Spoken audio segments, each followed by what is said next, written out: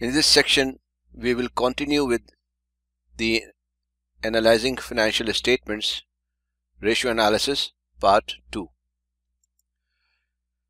In this section, we are going to cover long-term analysis ratios, coverage ratios, leverage ratios, and calculating return on investment.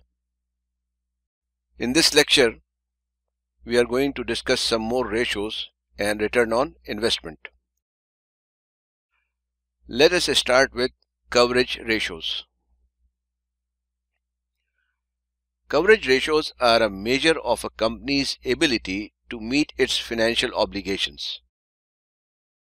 In broad terms, the higher the coverage ratio, the better the ability of the enterprise to fulfill its obligations to its lenders.